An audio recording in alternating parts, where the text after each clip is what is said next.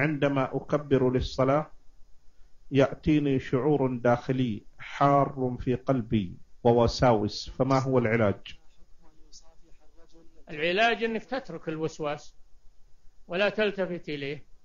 تستعيذ بالله من الشيطان وترفضه رفضا تاما ولا تلتفت إليه ولا تهتم ولا تهتم به ويزول عنك بإذن الله. نعم.